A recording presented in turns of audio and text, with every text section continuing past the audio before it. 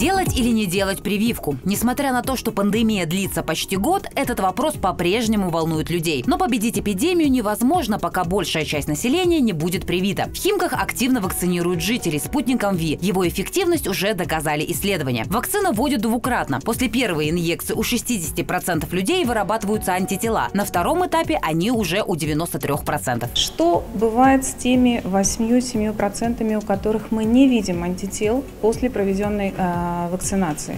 Эти пациенты тоже защищены, но их защита менее сильная, поэтому они могут переносить эту инфекцию в легкой форме. Таких пациентов в Химках всего 10. Они перенесли болезнь легко и в настоящий момент здоровы. Всего же сделали прививку более 12 тысяч человек. Так что причин для беспокойства нет, говорят медики. Мы можем сказать, что э, она переносится достаточно хорошо. У части людей э, могут быть симптомы, которые не бывают продолжительнее, чем 1-2 дня. То есть насморк, э, заложенность носа, слабость, утомляемость. У части людей бывает температура. Иногда она бывает высокой, больше 38. И, как правило, это молодые люди, у которых хорошая иммунная система, которая мощно отвечает на введение вакцины. Медики единогласно говорят, вакцинироваться нужно, даже если вы уже перенесли ковид. После прививки антитела держатся до года, тогда как срок их жизни после болезни гораздо меньше. Сделав пару уколов, вы защитите не только себя и близких, но и поможете всем пациентам. Ведь когда большинство людей будут привиты, медики получат возможность лечить все болезни, а не только ковид.